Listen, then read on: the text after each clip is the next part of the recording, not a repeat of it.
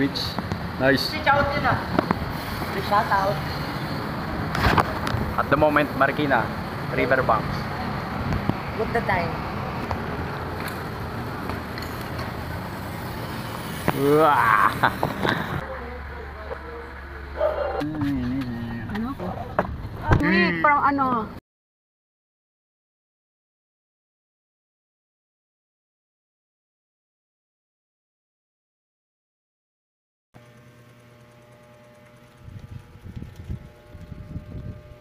Frankenstein.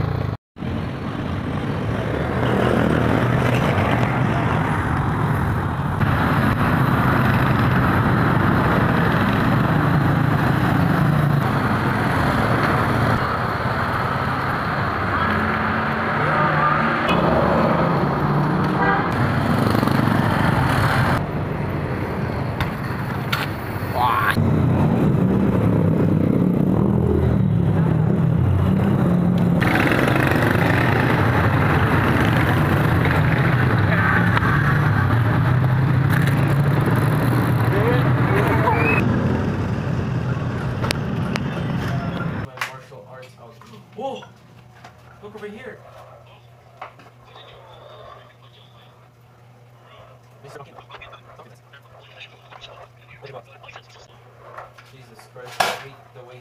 Wait! There will be a crowd of. Say yeah. Yeah, let's go.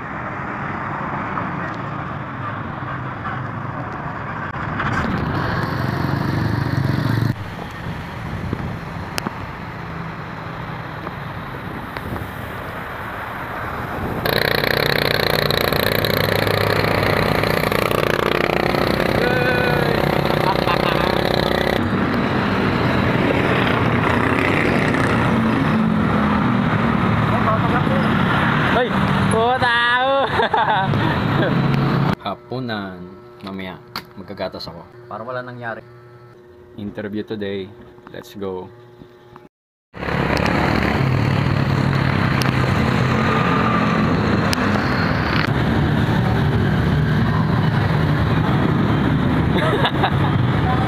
yeah. Ayaw mo po niya man. Ayaw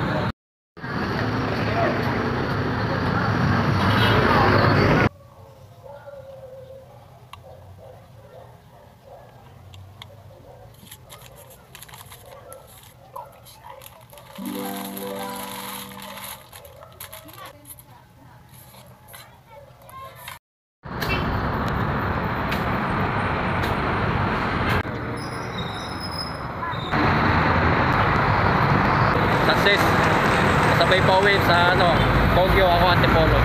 Hiwalay kami sa Santa Lucia. Jackson to Antipolo.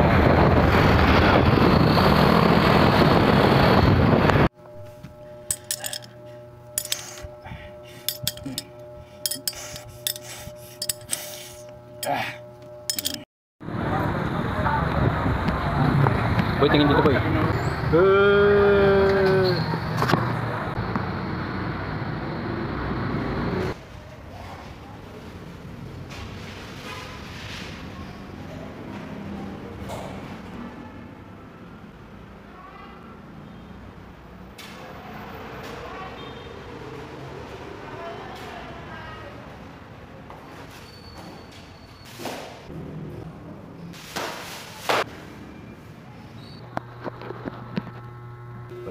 Natigil na ako sa pag-gym. Kasakit kasi ako eh. Plus trabaho, sobrang busy. So last day ko na ng 4-day training. Revalid na daw ako bukas. Sobrang alikabok ng sahig ng kama ko. Tapos ang rupok na nung sahig ng kama ko. Kahoy lang yan. Para tumagal. Tapos tinape ko yung nabutas na linoleum ba yan. Tapos labaday. Laba ko lambo. Oh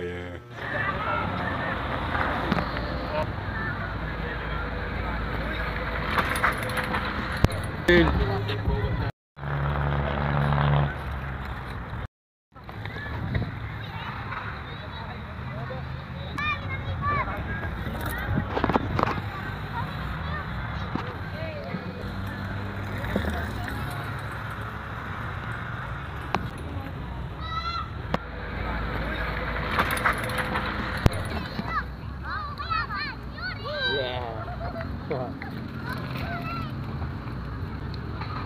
Putang ina.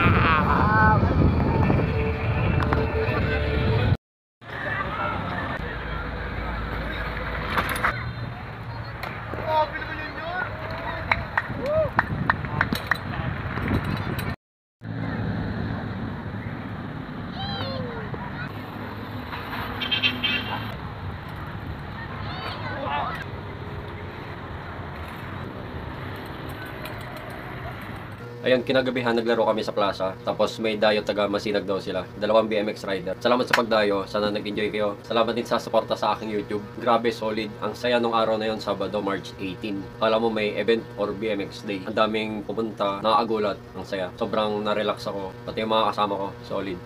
Maraming salamat sa inyo. Kuya Panyor, Jeff, at sa lahat ng mga BMX rider doon.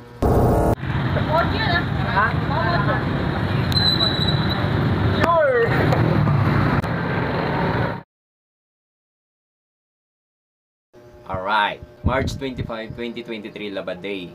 March 24 yesterday, BMX Antipolo to Santa Lucia for work follow-up.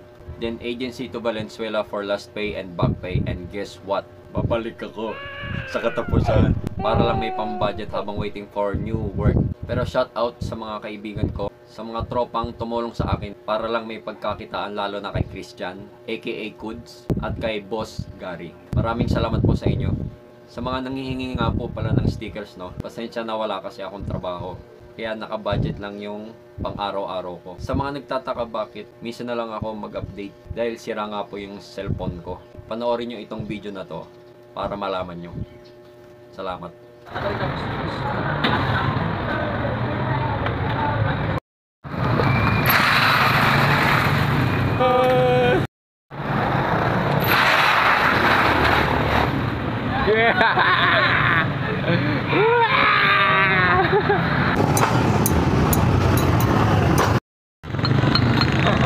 Yeah.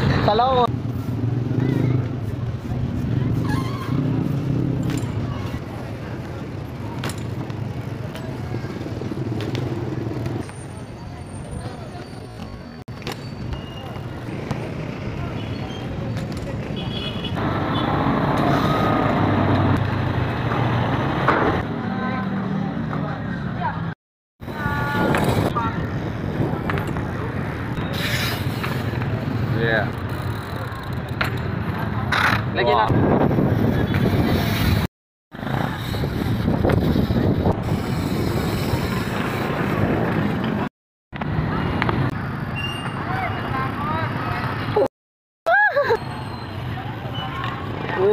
Shoutouts. Rensky TV, classmate ko noong high school. J.Day Torres, BMX rider ng Marikina. Rai, BMX rider ng Antipolo. Shower out kay John Ray, BMX rider ng Antipolo.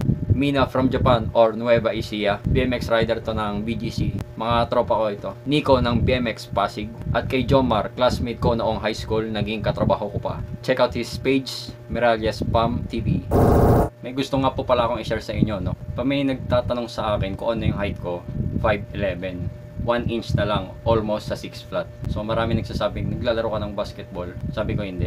Oo yung height ko pang basketball, pero nahilig ako sa BMX. Pero hindi porket matangkad, pang basketball player na. Sa lahat nagsasabi sa akin lagi ng sayang yung height mo, hindi ka naglalaro ng basketball. Ang sarap ko to, San Promise. Gusto ko lang sabihin sa mga nagsasabi sa akin, sayang yung height ko pang basketball. Nag-basketball ako before, pero hindi ako naging masaya sa basketball. Actually, nag-start ako sa skateboard. 3 months yata or 1 month lang, hindi ko na maalala talaga. Kasama ko noon si Cedric. Nung nag-switch siya sa BMX, nag-BMX na rin ako. Doon na nagtuloy-tuloy, tapos doon ko na simulang nakilala si Ivan. Isa po siya sa mga una kong nakilala sa BMX. Sa BMX talaga ako sumaya. Ngayon, sa mga nagpipilit dyan na basketball ka na lang, alam niyo nakakasakit din kayo ng damdamin kasi napamahal na ako dun sa BMX eh. Mas masaya ako sa sports ko ngayon. Extreme oo, delikado, pero learn to appreciate. Mas magandang maging masaya ka kung saan naging masaya yung tao. Kasi tanda mo, hindi ako ikaw, hindi rin ikaw ako. Magkakaiba tayo ng mindset. Pag ganito yung masaya ka sa ginagawa ng isang tao, malaya ang mundo. Masaya lahat. Pero kung ipipilit mo lang yung kung saan naging masaya, tapos gusto mo siya rin dapat dun din. Kakasakal. Ah, masakit yun. Sakit kumbaga sa love life, pag pinilit mong gustuhin ka, sa huli may pagsisisi. Tandaan mo, ang pagsisisi laging nasa huli. Anyways, yun lang. So, yun naman gusto kong i-share about sa height. Di porke matangkad basketball. So, maraming salamat ulit sa pagnood. Sana pa nag-enjoy kayo. Support the channel, hit subscribe, leave a like, keep safe and ride safe.